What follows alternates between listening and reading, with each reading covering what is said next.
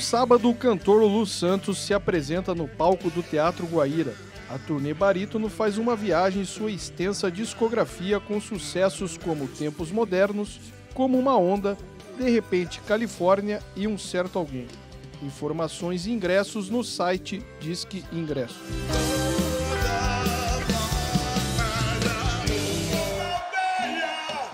Também neste sábado será realizado o Macum Fest, o inédito Festival de Samba de Terreiro de Curitiba.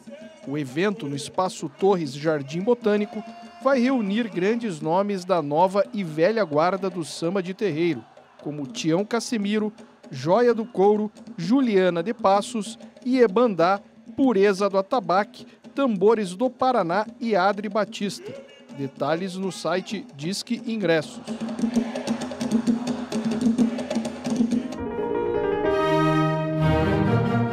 Domingo, a Orquestra Sinfônica do Paraná se apresenta com o consagrado pianista brasileiro Christian Budu no Teatro Guaíra, em Curitiba, com canções do compositor alemão Johannes Brahms. Ingressos e informações no site deubalada.com.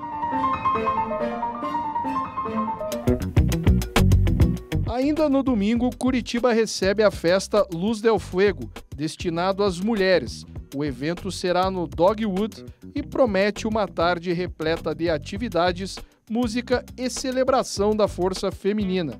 Entre os destaques, bazar, drinks, flash tattoos, corte de cabelo, música, tarô, gastronomia e performances. Ingressos no local. Curitiba também recebe neste fim de semana a Expo Índia Brasil, feira que celebra a cultura indiana. Com uma variada programação que inclui arte, cultura, moda e gastronomia, o evento será realizado de 27 de setembro a 6 de outubro no Centro de Eventos Positivo no Parque Barigui.